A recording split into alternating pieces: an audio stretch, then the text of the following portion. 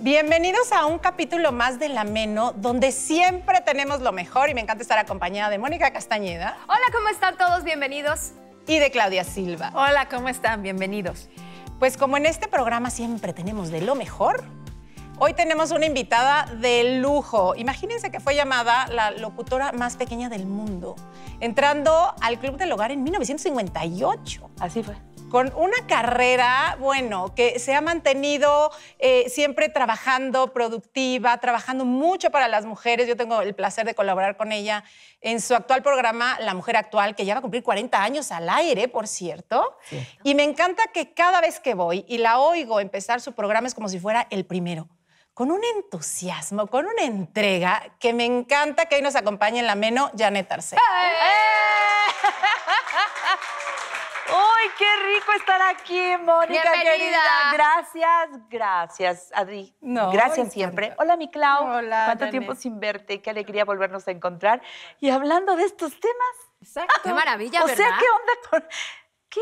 Pues Porque ya ni me acuerdo. No, cómo no, pero sí te acuerdas. Me, ahorita que Adri decía, este periodo de tiempo donde una generación completa le dice a la mujer o transforma a la mujer en el radio, en, la televisión, en donde sea. Y tú eres parte de esa generación, Janet. Sí, sí, creo que sí soy parte de esa generación. Y me encanta. Sí. Em, haber empezado tan chica en, los medios, seguir en ellos. Claro. Y que me siga pareciendo apasionante.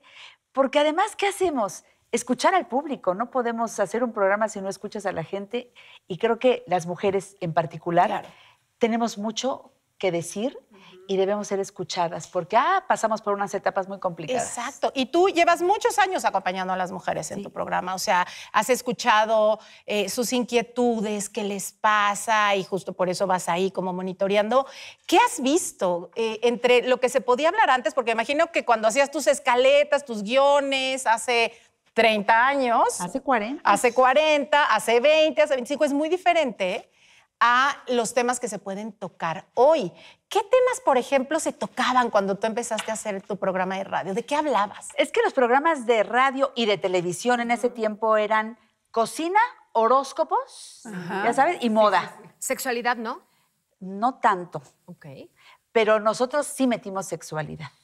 Eh, en el programa que se llamaba El Mundo de la Mujer, decidimos que era importante hablarles a las mamás y explicarles la necesidad de llamar al cuerpo de sus hijos por su nombre. Ah, ok. Desde ese momento. Claro que fui súper criticada. Primero a la gente no le gustó mucho mi programa.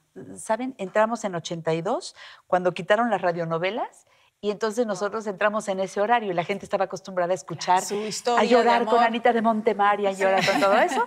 Y entramos nosotros con un programa más bien de contenido, con diferentes especialistas. Desde el principio fue concebido así, como una revista. una pionera en este tipo de programas, Así fue, efectivamente, el 3 de noviembre de 82. Y resulta que cuando estábamos armando toda esa programación, que dijimos, debe ser así como eh, eh, hablar con abogados y hablar con médicos de todas las disciplinas, que sea un programa para la familia, pero muy para, para la mujer vista como, como pilar, ¿no? y, pero tiene que ser vista ella, porque resulta que en, esos tiempos la mujer atendía, bueno, e, e, en el sándwich, a sus papás añosos, a sus hijos pequeños, al marido y ella... Al final. Si bien le iba. Sí. Al final, se acordaba. Si se acordaba. Entonces empezamos a hacer, que, casi a ponerte un espejo. Claro, de Lo primero que regalamos en un aniversario fue espejos. Ah, ¡Qué bonito! Para decirte, yo soy importante. Yo merezco voltearme a ver, merezco atención. Y si yo no estoy bien, no podrá estar bien lo de afuera. Pero qué revolucionarios, porque en esa época, pues como que no te imaginas que era muy consciente eso de, verte en un espejo y de quererte a ti misma, ¿no? No, bueno, nos decían que era estar fomentando eh, eh, egoísmo, este, porque, bueno, a mí mi mamá me lo decía. Estás alebrestando. No, mi mamá me decía primero los demás y después tú. Ok. ¿A poco tu mamá no te lo decía? En algunos, sí, y después ya se le volteó. Claro, pues sí. Pero, pero al principio sí nos decían eso. O las ¿no? abuelas, ¿no? Las que, que- que hacían la abuelas. comida de la cena de Navidad y hasta el final se iban a arreglar ellas porque pues era a, a la mera hora las pobres porque ya habían acabado la cena y ya luego se iban a arreglar ellas. Pero además ellas servían y ellas no se sentaban. Ajá, de acuerdo. Eh, eh, hasta detalles como eso. Y hacía, se comía en la casa lo que querían los demás. Claro. No lo que a ella. Lo que le gusta a tu papá. Eso. Ay. Y aparte, e- esa es la educación a los hijos. O eso es lo que ven los hijos, las hijas y los hijos. Y, y- y, pues, ¿quién rompe la cadena? Y nos prometimos que el programa tenía que llevar justamente esa otra forma de, de educación. Por eso fuimos criticados al principio, pero no tuvimos un patrocinio bueno y, y empezó a formarse ahí algo padre y nos dejó. Eso, esa parte fue fundamental para continuar. Y, y supongo que también fue un ejemplo para los jefes, ¿no? En ese momento. Porque supongo hubo confrontación ahí o no. Sí, sí había, eh, porque mi productora, que era Telma de Gaspi, y yo eh, siempre íbamos con esas propuestas y pues quienes estaban arriba querían ese, ese programa tradicional, pero también fueron entendiendo, el año 82 traíamos una bronca económica, qué raro, ¿no? Sí. Traíamos una bronca económica fuerte en Defendiendo México. el peso como un perro, ¿no? Exacto. Y, y entonces nosotros dijimos, el- la radio tiene que acompañar, pero también tiene que informar y que sea, bueno, no existían los celulares ni nada. Llegaban preguntas por carta todavía Wow. y llegaban eh, llamadas telefónicas y, y, pues así nos hacíamos el programa. Era eso, la respuesta era rápida, pero no tan rápida Claro. como es ahora. Y, y fuimos viendo la necesidad Eso, justamente de esas las mujeres, inquietudes de esas mujeres. Y, aunque había algunas que decían no, no, no, no, no, otras decían sí, me interesa, yo quiero saber más. Y eso fue lo que provocó que también la mentalidad de nuestros directivos dijeran, no, pues es que es otra época, vamos, vamos a apoyar. Y las colaboraciones eran muy, muy interesantes porque no había especialistas que frente al, micro, eh, frente al micrófono pudieran este, Expresarse, comunicar. expresarse. sí. Pues, pues, había que hacer eh, Claro, claro. grupo de Desde abajo, colaboradores. desde abajo. Es que hoy ya lo vemos como, lo Muy damos por hecho, ah, pues viene el especialista tal, pero no, pues estaba el doctor en su consultorio, o sea, no Y iba a salir a hablar El de doctor no sabía este, platicar o oratoria, ¿no? O sea, Ponle el micrófono Ajá. al medicazo y... Exacto. O hablando de temas que no se entendían, o, o términos más bien que no se entendían. Y mi labor era esa. Eh, Estábamos Jenny Capuano, eh, Marco Tulio García y yo. Y entonces siempre era bajarlo, a ver, no, no, Bajarlo, no claro. entendía, a ver, a ver, ¿qué quiso decir con eso? Y fuimos creando a una gran familia de especialistas. Eh, eh, eh, pero era ir a tocar la puerta y decirle, doctor, ¿le interesa? Nos gustaría que, pero necesitamos en términos muy sencillos y todo. Y hablándole, tuvimos a una magnífica especialista en sexualidad ahora que sacaste ese tema. Y decía eso. A ver, el cuerpo de los niños, no tienes que irte a la frutería del mercado para ponerle nombrecito a, a- a las partes de cuerpo de la niña y del niño. y no, y no te toques el platanito. Y este, no. Y fresita. papayita, Tu ciruelita. Y tu ciruelita. Es que así, así hablaban, Mónica, Sí, sí, así sí, las sí, sí, mamás. claro. No, pues ¿cómo? O te puso la semillita. Eh, ah, ándale. bueno, así me dijo mi mamá a mí. Como mi papá, tu papá me puso una semillita y entonces de ahí naciste tú. ¿Ves? Y yo le decía, ¿y lo de la semillita? No, no entiendo. Y por ejemplo, ok, la sexualidad me queda claro. no pero a la- genitalidad, ¿eh? Sexualidad. Sexualidad. ¿Y en la sexualidad entraba menstruación, menopausia, todo esto o, o no? Todo. Y también andropausia. Eh, eh, todo, todo eso, por supuesto. Que las mamás perdieran el miedo a tocar eh, este, los testículos de los hijos.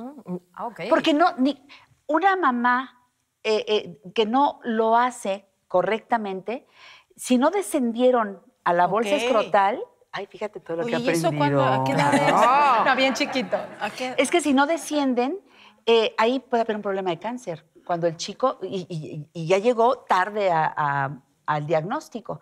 Si una mamá lo detecta puntualmente, el médico puede hacer algo. Claro.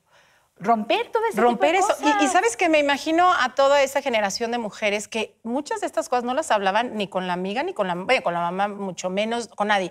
Y escuchar una voz tan familiar como la tuya, en donde empiezas a generar eh, un espacio amable, en donde se hablen de estos temas, me imagino la delicia, ¿no? De, Tuvimos de, que de aprender, prender ¿eh? el radio, sí, pero prender el radio y decir, ay, mira, ahí hay alguien hablando algo Que me de interesa. lo que a mí me interesa. Y no puedo hablar con nadie. Eso, tuvimos que aprender. Sí. No, no, fue, no fue una ruta sencilla, eh, pero, pero tuve que aprender. Yo venía de hacer La Mujer ahora en la televisión, en el Canal 2, con Evelyn Lafuente con Paco sí, Stanley. Entonces ahí sí había cocina y tachito. Es No, y era otro, otro mood. otro mood. Patrocinado por la Fundación Cultural Televisa. Y, y era un programa que sí tenía, yo, yo hacía la sección de modas y sí tenía La todo ese rasgo, la, la gimnasia. Con el, con el leotardo. Sí, sí, sí. Sabes que todavía si te metes a, a YouTube, buscas profesor Bellanoel y sale salen las- el- la, la voz de diciendo un, dos, sí, arriba, mujeres, y hacer, suban los brazos y marchen, un, dos, tres. Era re buena esa gimnasia, no sabes. No, maravillosa, yo sí me acuerdo perfecto. Eso, la- pero ya después, ya no estaba el profesor Villano y Carmelita Molina tocando el piano. No, es que les hablo de la época de Pilar Candela en la moda en la televisión. Que ya estoy grande, chicos. No. Ya estoy grande. No. Qué Ya bárbara. estoy Además, grande. te ves espectacular. No, Sí. de verdad, Dianet. O sea, de verdad, yo. Para lo grande que está, no está No, tan No, no, no, no, no, no, no. porque sigues igual. O sea, de verdad, tu entusiasmo, este, tu arreglo, verte joven, vital. O sea, yo te veo igualita, de verdad, no es broma. Es el amante. Es- a ver, cuéntanos de ese amante, cuéntanos. Tiene unicornio. Todos debemos tener un amante. Sí. Todos, todos, todas, todos. Ok. Ok. Ay, ay, ve. Ay, ese Cámara es el peor. uno. Ese es el peor. Sí. ¿Es el amante de verdad? Pues Cuéntanos de ese O amante. es el trabajo. ¿O es el amor propio? El- no, el amante tiene que ser ese algo que te, que te despierte todos los días, apasionada para hacerlo. Para mí mi amante es mi trabajo. Ah. Ay, de veras, pues que estaban pensando. Moni, ¿no es cierto que Sí, cuando te apasiona, te- digo, pasión, y lo que ves, todo, yo, yo a todo le veo Nota. algo interesante para el programa. Sí, de acuerdo. A todo. Digo, ay, me encantaría invitarlo. Ay, este, ah, lo y lo, o lo grabo, lo anoto en el celular. o- ahí está. Y es lo que hace que yo me levante en la mañana emocionada para entrar al aire, ahora desde la casa. Ahí está todo y aprendí a conectar micrófono Combrex, ya sabes, todo Sí, lo que hay, Que la también que lámpara. a gusto, ¿no? Esa, esa parte de, de- O sea, que mucha gente se enfrentó con lo de la pandemia. Ay, ahora en mi casa, ¿cómo? Y luego ya como que te acostumbraste y dices, ay, qué bonito, aquí Dos está mi espacio de trabajo. Sí, dos, años. así, pero padre. Claro, esto, esto, tocarlo, De verdad. Sí. Sí, ver al sí se invitado extraña. es otra cosa. Sí se extraña. Oye, Janet, ¿y cómo vives tú tu propia menopausia? ¿Cómo la viví hace ¿Cómo la un- viviste? un rato? Uh. la Tanto, viví tanto. trabajando, sí. Te agarró Mira, chavita. Fíjate que no. Eh, dicen que cuando tu menstruación empieza tardía, Sí. ¿no? Ahí hay La una, como una menopausia regla. también, También es también, sí. También, sí. hay una relación ahí. Y, y bueno, hasta los 13 años yo. Y luego, entonces, después de los 50, pero estaba muy ocupada. Entonces, y estaba informada. Yo sí creo que la meno sin información es una tragedia. La meno con información sí está padre. Digo, es otra etapa de vida, tampoco hay que verla tan trágica, ¿eh? No te pegó emocionalmente hablando. Ah, claro, y pasé por unos cambios de humor ¿Y los brutales. calores te daban también? Los bochornos son bastante feos. Sí. son feos. O sea, porque a puede- puedes contarlos y puedes tener 12 al día. O sea, y de repente nada más sientes como que te quemas o en la noche y te. Dormida No me y- con esas cosas. No, no, no, ya es que me espanté, me espanté, me espanté. Es que sí es, sí, sí Yo es- estoy como en el rumbo A.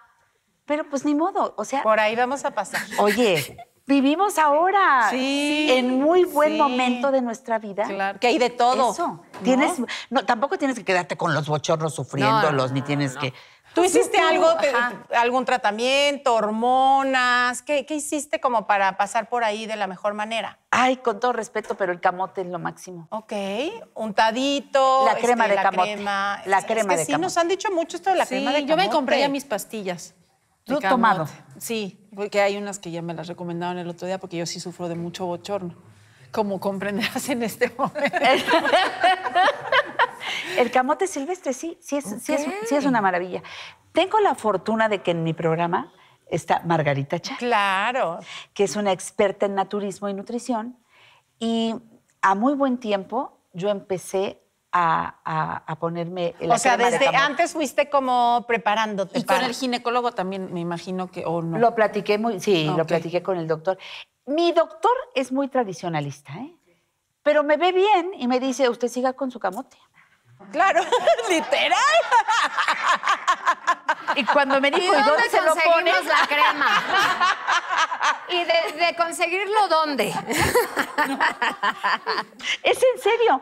Eh, hay mucha gente que, incluso médicos, que dicen, pues, ¿qué es eso del camote? Pero, pues, bueno, si le cae bien, pues, sígalo usando. Claro. Y a mí me ha funcionado muy bien. No he probado otra marca más que la de Margarita. Eh, cuando, cuando todavía tienes menstruación, sabes que hay siete días que no te la pones y 21 que sí. Ok. Hay, hay que seguir un ritmo. Ok.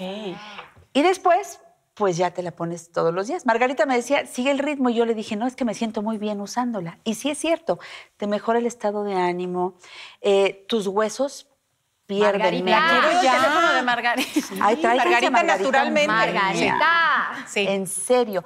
Y claro, muchas otras cosas, unas buenas lechadas. Yo no tomo leche de vaca. No, no, no, no soy intolerante.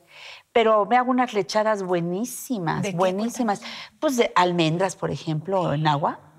Eh, les quitas la cascarita y te haces unas lechadas muy buenas que te fortalecen los huesos, que te ayudan. Es decir, has sido bien. una mujer que se ha preparado más allá de tu trabajo, ha escuchado a los especialistas para, con herramientas, tener no solo el periodo de menopausia, sino el- la madurez. Sí. Bien. Sí. Es- te digo que el programa sirve. No, Eso claro. muchísimo. Sí, claro. Bueno. Sí, sí, fíjate que me he dado cuenta en diferentes cosas, o sea, hablando aquí de la salud, sí me ha servido mucho. Cuando vi al doctor Castorena con ustedes, yo me emocioné, porque lo adoro, Sí. me encanta. Eh, pero en fin, creo que si estamos preparados para todas las cosas de la vida, para vivir solo, por ejemplo, para... Yo tuve que decirle a mi hija, ya es tiempo de que, de que no vivas conmigo. Oye, a ver, dame ese paso porque creo que es importante. Acuérdate que te de- van a, ver. No, pero ¿desde dónde tú em, tomas esa decisión? ¿Desde dónde consideras que era importante que ella empezara a ¿Y en vivir qué sola? momento? ¿En qué momento? ¿Qué te llevó? me llevó que ya estaba convirtiéndose en una mujer hecha y derecha, de- hecha y derecha, y me di cuenta que si seguía pegada a mí, yo soy madre soltera, si seguía Jimena pegada a mí, yo le estaba cortando las alas. Claro.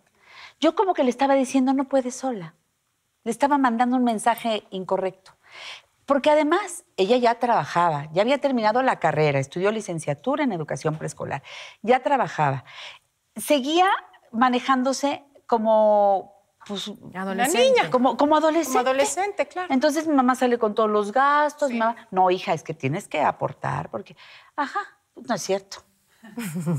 y un día le dije, mi amor, tienes que aprender, a- a- a- tienes que saber que la vida no es gratuita, que la vida cuesta. Cuesta. Que el refri no está lleno. Eso. Que el- no, no lo vas a abrir y ahí va a haber cosas. O sea, Eso. hay que llenarlo. Empecé en la casa con ese tipo de cosas y bueno, yo me compro mi- lo que yo, lo que a mí me gusta desayunar y comer y cenar, ¿eh? Tú te vas comprando lo tuyo. Y, y ahí tú sabes. Pero ya después le dije, nena, ¿qué tal si, si vives sola? No les alcanza, ¿eh? Esa es la verdad. El presupuesto de ahora no les alcanza para vivir solos. Entonces, eh, el departamento donde vivió mi mamá, yo nunca ni lo renté ni lo nada. Era así como, ya sabes que dejas un lugar. Ahí. Sagrado. El ahí, nicho. ¿no? Como el museo. Sí, como el- porque ahí están sus muebles antiguos, ya sabes, Exacto. un radio de esos ¡Ay, antiguos qué preciosos.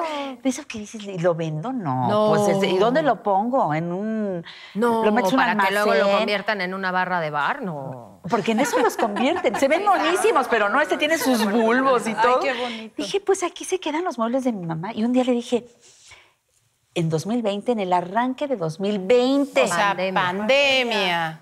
que Jimena decía, ay, pues 15 días, 20 días, una cosa así, ¿no? Y ya. Le dije, mira, ¿por qué no, no quieres vivir en el departamento de la abuela? Te lo, te lo acondiciono y, y, que, y que dice que sí. Y que lo acondicionamos y se fue a vivir el 20 de marzo. O sea, cuando empezó la empezando. pandemia. Ajá. Pandemia. Padrísimo. Padrísimo. Ya se quedó ahí, porque si no hubieran. ¿no? Bueno, no sé. Padrísimo. ¿Y te tocó esa etapa de cuando tú estabas en la menopausia, que ella fuera adolescente? Sí, sí, yo ya fui una mamañosa, yo la tuve de 35 años. Pero sí fue complicado, porque estábamos las dos así como en explosión. Las hormonas. Sí. Guerra de hormonas. Sí, sí. No, no es fácil. Eh, esa, esa- esa temporada fue complicada, pero también te ayuda muchísimo llevar a tu hijito y tú a una cuestión de estas de, de adolescentes, en donde te puedan orientar cuáles son sus necesidades, cuáles son sus... eh, ¿qué, es lo que la, ¿Qué es lo que la aprende? ¿Qué es lo que la enoja? ¿Qué es lo que Claro. la... Y yo también, detectar cuáles eran mis focos. eh, y desde ese malestar, porque si la meno, sí te lleva a ratos en donde ni tú te aguantas. Claro. Entonces contestas mal o contestas una cosa altisonante, una cosa fuera de lugar, y luego dices, híjole, qué, qué, qué, qué, qué mal. Pero si me puedo aguantar en el programa, yo decía, ¿por qué no me puedo aguantar en, a todas horas? Pues tener más cuidado, Pues ¿no? sí. Eh, las palabras han cambiado. Autoestima, amor propio, pero los problemas de la mujer siguen siendo los mismos. Aunque la generación sea distinta, seguimos con el, el mismo círculo. ¿No? Totalmente. Y ahora, ¿cómo te comunicas con estas nuevas palabras en esta nueva generación? Yo creo que cuando les hablas a las cosas por su nombre, cuando eres claro, cuando eh, no disfrazas la, verdad, a las mujeres nos gusta que nos hablen claro, que, que- que hablemos en un lenguaje que todas entendamos, pero que sea claro. Eso no quiere decir que tengas que, que- que ser agresivo, ni, porque ahora yo siento que mucha de esa comunicación es un tacto agresiva y esa, esa, esa no va conmigo, por lo menos. Siento que no es la, la mejor forma, pero sí el lenguaje de las mujeres es, es ahora más directo. Hay mujeres que yo conozco que ahora son capaces de decir, a ver, espérame tantito, necesito una pausa para mí. Una mujer, o sea, yo a mi mamá no me la imagino diciéndole a mi papá, a ver, espérame tantito, Agustín, espérame, Necesito porque yo ahorita necesito espacio. un ratito para mí Ajá. y que, y que, pues yo no sé, de- de- hay, hay departamentos tan chiquitos, pues no sé, aunque sea en el baño, pero te metes al baño y dices, a ver, inhalo y exhalo, ¿qué me está pasando? ¿Qué siento? Pero, pero ahora lo puedes hacer. Decirles a tus hijos, este rato Es para mí. es para mí. Ajá. Y como también puede tener el adolescente esa necesidad y lo respetas, adelante. Pero las mujeres éramos incapaces de, de mostrar esa vulnerabilidad. Tú tienes que estar siempre fuerte, bien puesta y, y dispuesta a lo que sea. Tenías que poner de pretexto, si no querías tener relaciones sexuales, un dolor de cabeza. Claro. Es, Así era antes. Sí. Ahora no es así. Ahora puedes decir, ¿Sabes es que me Ahorita, duele, claro. es que estoy reseca, es que no, es que necesito ayuda, tengo que ir al médico. No se me antoja. O no se me antoja. Ajá. Así de fácil. Esos son los nuevos Antes lenguajes. tenías que cumplir. Sí te... Sí, sí, sí, totalmente. Sí, y por ejemplo, ahora que las mujeres, ¿tú crees que ahora están, pues, como ahorita pueden hablar y decir lo que quieran? A veces pareciera que estamos como un poco desbocadas, ¿no? ¿Crees que, o, o mucho? Sí ¿no? creo, ¿eh? Porque mucho tiempo estuvimos como muy reprimidas. Entonces ahora podemos decir lo que queramos, pero hay veces que yo a veces siento, como siendo mujer también digo, pero no espérense tantito, están muy agresivas, están muy, De acuerdo, muy sí. enojadas. ¿Qué pasó? Tampoco estábamos Eso. tan mal, ¿no? O sea, no sé, tú sientes como, como esa, como, espérenme. Y lo dices bien, Ajá. enojadas. Sí. Porque mucho tiempo creímos que no éramos capaces. Que para ser tú, para, para, para ser mujer, tenías que poner a tu lado la figura masculina, si no tú no valías nada. Así fue durante Sí, mucho sí, tiempo. sí, sí. Y que tú tienes que estar atrás o a la sombra, apoyando, impulsando. Y yo creo que lo pueden hacer los dos. Claro. Si no es este, no es competencia, Competencia. es convivencia, Ajá, ¿no? Sana, Ajá, sana convivencia, en donde eh, puedas ir en ese equilibrio. Claro, suena muy padre, pero es muy difícil lograrlo. Sí. Eh, si han trabajado con su persona, si hemos trabajado adentro, está más fácil. Yo por eso sigo sola. Oye, sí. por y- eso sigo sin pareja desde hace muchos años. Y, y sin embargo, como decías ahorita, no es que entonces si no tengo una pareja, dejo de ser mujer o dejo de, de- de- de tener esta gana de vivir. ¿De dónde te has tomado tú? ¿Cuál- cuál- ¿Cuáles son? Digo, Ya nos dices que tu trabajo, este gran amante. ¿Qué más te das a ti que te permite seguir sosteniendo eh, esta vida plena? O si de pronto has sentido el, hoy no tengo aquí al, al hombrecito al lado, entonces me achico palo. ¿Cómo ha sido para ti este tema con la pareja? Pues mira, sí he tenido novios y sí no lo he pasado mal, pero llegó un momento después del... La última vez que lo dije, me dijeron, no, el último no puede ser, debes decir el más reciente. Bueno, El más el más reciente. Este, no, pero ya pasaron dos años y estoy feliz. Encontré que yo me siento muy bien estando conmigo. Claro. ¿Sabes qué pasa? ¿Saben qué pasa? Que todo el tiempo he estado trabajando y to- todo ha sido muy hacia afuera, sí. Y ahora que estoy ya con la hija que va encontrando el camino de su vida, bendito sea Dios, está muy contenta con su novio, eh, qué bueno, padrísimo. Ni le pregunta, ¿ya te vas a casar? Ay, ¿y cuándo, ay, ¿y cuándo el Ay, no. primer nieto? Es que yo sin nietos, no me vayas a dejar que me vaya a morir sin nietos. No, no la muelo, no la nada, eso sí. Qué no. bien. Que vaya viviendo a su ritmo. Y yo estoy muy a gusto conmigo, me llevo bien conmigo. Que es lo mejor, Me doy mis bien. espacios, me puedo ir al cine conmigo, me he ido al teatro yo sola y no me siento ni deprimida ni mal. Pero lo has trabajado, porque tampoco es algo sencillo en una sociedad donde todo el tiempo el que vean a una persona, sobre todo mujer sola, es sinónimo de soledad, abandono, dejada. pobre, de- nadie me pobre. quiso. Ay, Sí, pobre. exacto, pobrecita está sola. sí. Claro, o ay, nadie quiere Pero estar cada con vez ella". menos, ¿no? Mm, no te creas. No, yo creo que, que- que esta parte siempre está, porque cuesta mucho trabajo cuando tú dices, no lo quiero, que sea aceptado de entrada, ¿no? Entonces, Ay, pues es que si te la pasas esperando que los demás Exacto. acepten o no Ah, acepten lo que te digo, la verdad. Y es padrísimo que llegues como el libro de una amiga que se llama así, Mesa para una, y que te preguntan, este, ¿espera, ¿Espera alguien más? alguien? No, mesa para una. Claro. Y, entonces, quiero- ¿qué hiciste? vengo completa yo. Pues soy eso, hice- soy completa. Trabajaste, sí lo trabajaste. Sí, bueno, para poderle decir a mi hija que se fuera a vivir sola, porque lo más fácil es que tengas a tu hija siempre cerca de ti. Claro, y más cuando Y no te tener una vayas. simbiosis, yo imagino que importante al ser madre soltera. Claro. Y más la una relación. mujer que, que está acostumbrada a controlar y a Claro. determinar. Qué bien me conoces. es real, es real. Pero créanme que me tuve que preparar y le pregunté, mira, eh, Gaby Pérez Islas, Eduardo Calixto, tú misma, Adriana, bueno, fueron pilares. ¿Cuántas veces hemos platicado del tema? Y, y yo titubeaba todavía y todo, y todos me decían, si, si eres capaz de hacerlo, bravo, va a estar muy bien y vas, te vas a sentir muy bien.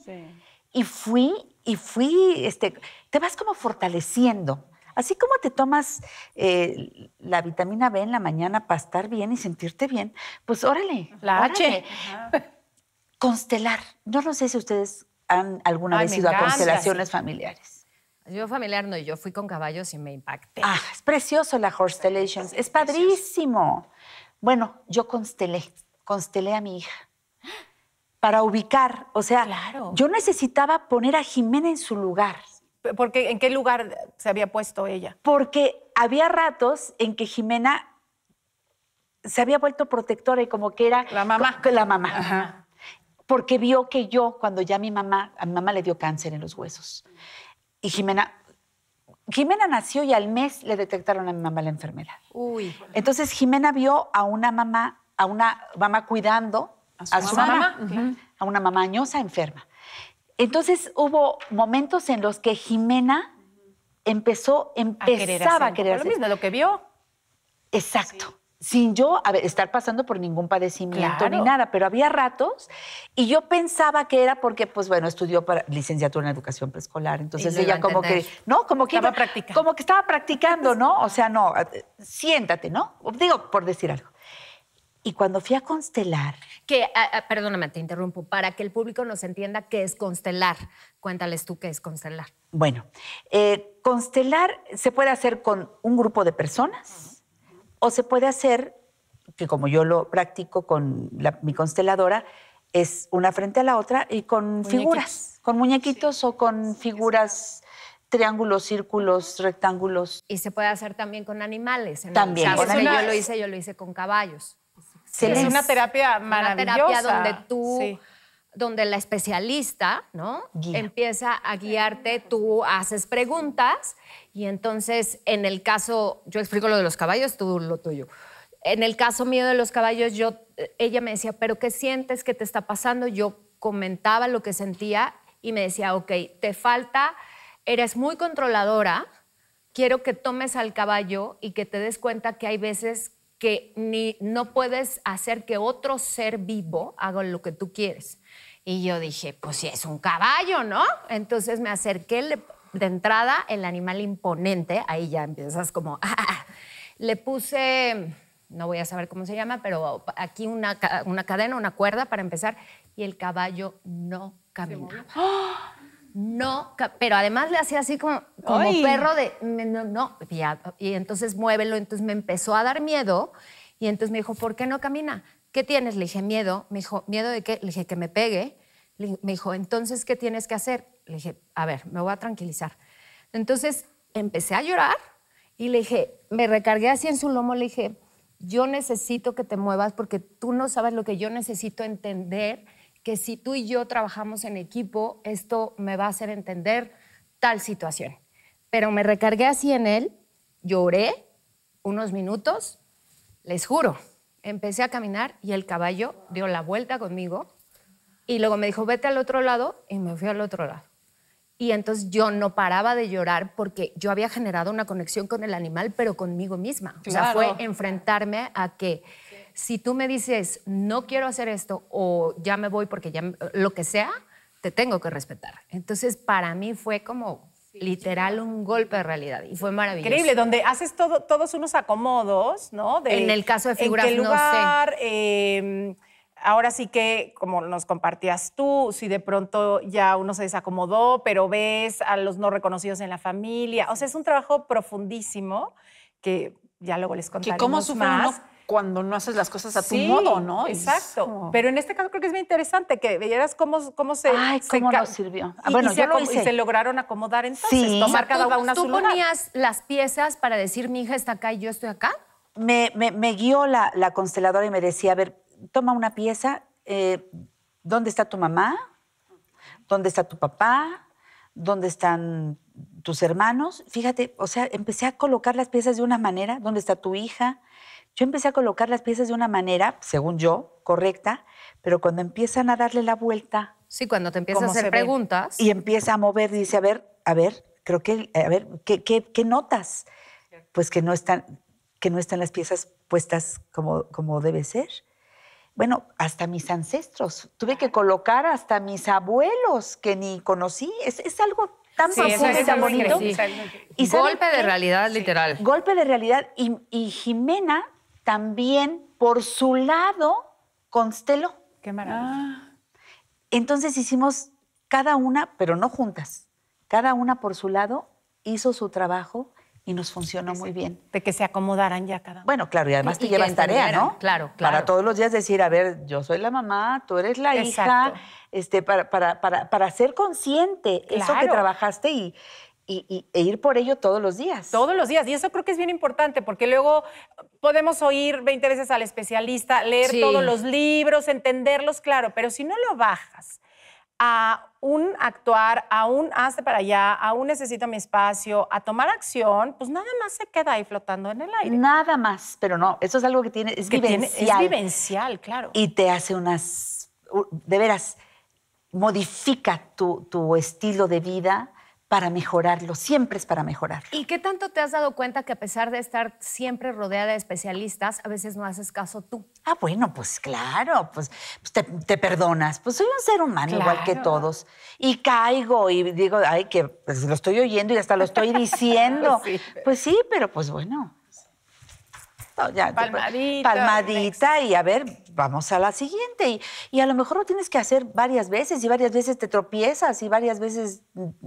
Y, y también le sufres, vaya, es natural. Claro. Pero el caso es que le vayas aprendiendo. Soy muy afortunada de tener a tantos especialistas, de verdad. Les consulto poco, pero cuando les consulto... pero sí, eh, ¿sabes? Hablamos de cosas de esas cotidianas. Esa es la magia del programa. Y a mí, ¿sabes qué me encanta? Que lo platicaba con Adri. Creo que estamos en un momento donde debemos de hacerle sentir a todas las personas, hombres o mujeres, que son valiosos sin importar su edad. Claro. Porque de pronto este país se olvida de que ser, o cree que ser productivo tiene que ver con un número en su acta de nacimiento. Para nada. Es una pena que ahora la experiencia se echa a un lado. Exacto. En lugar de aprender de ella, como en otros países, que es- el- el- se le acerca a uno a un anciano para pe- pedirle consejo. Ahora es como, quítate, porque yo sé todo, porque yo ya lo sé en las redes, yo ya lo tengo en el Lo- lo vi en internet, Google. yo ya lo vi en Wikipedia, ya lo sé.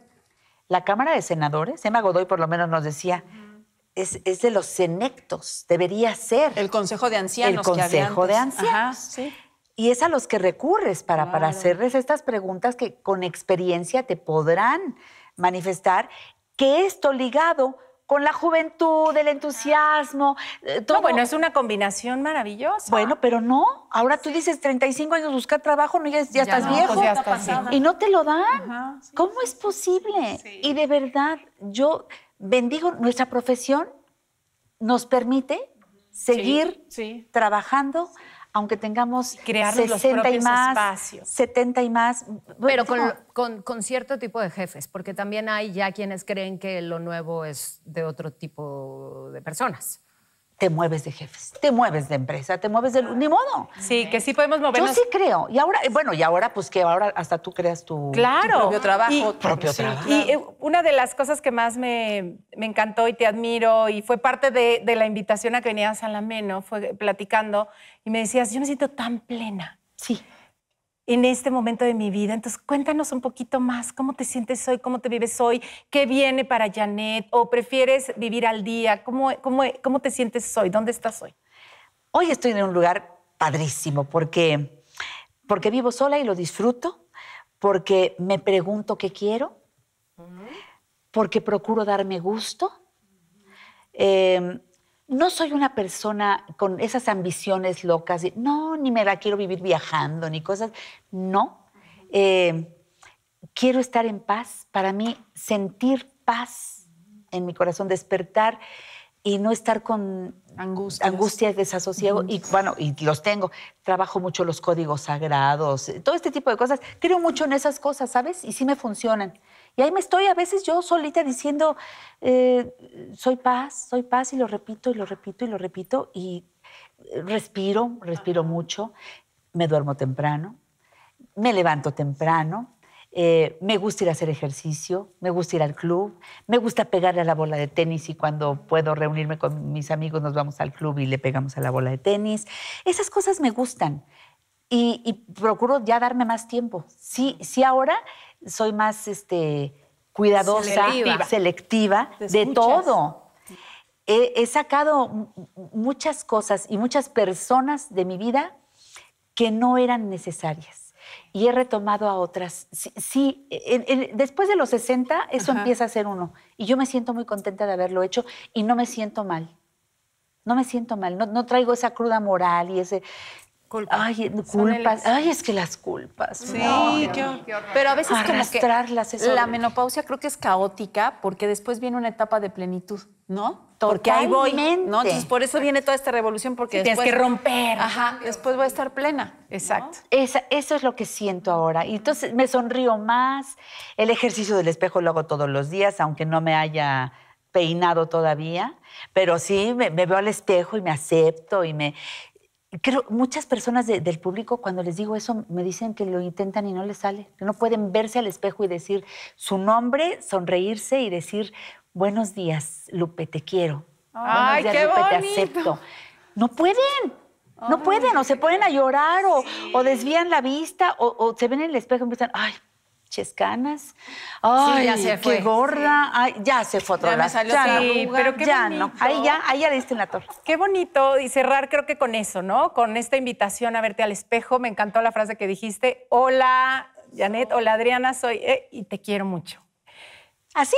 Qué bonito mensaje nos dejas. Ha sido un placer, mi querida Janet, sí. que estés aquí con nosotros. Bienvenida a la Meno, el día que quieras regresar. Ay, feliz, a seguir gracias. hablándonos de Con esta el camote, parte, si con, se con puede, el por favor. camote, exacto, y el mezcal también. Fíjate que sí, porque yo había prometido el mezcal, pero ahora traeré. ¿Cuántos camotes se necesitan? Levanten la mano. Son como siete. Como si- les quiero. ¡Qué bonito! Te adoro. Quiero que sepan que también los señores lo pueden usar mientras Ah, andropausia, ¿eh? A ver. Ah, ah, ¿verdad? Los Les tiempos han cambiado. ¿ya ves? Los quiero felicitar. Bien por la meno, bien por lo que están haciendo. Janet. Y gracias por voltearme a ver, ¿saben? A veces siento que los que estamos en radio ahí como que estamos en un nicho que no, que no, no Es nos ven. maravilloso el radio. Cuando me habló Adriana dije, ay, qué padre. Y, y ver a Moni, y ver a Claudia y estar con... De verdad, gracias. Y gracias a todos porque son un equipazo maravilloso. No, no, Felicidades. no. Y además, desde hace mucho tiempo te escuchamos, te admiramos y nos haces la vida distinta a todos nosotros. Así es que gracias. Gracias, Moni. Gracias. Gracias a ti. Gracias, Clau. Gracias. Gracias, Adri. Nos vemos la próxima. Suscríbanse, acuérdense en YouTube y le ponen para que les dé las alarmitas o en el podcast. Sí, en arroba la meno y también en Facebook estamos como arroba la meno, no se lo pierdan. Vamos a seguir haciendo amena la meno. Bye bye.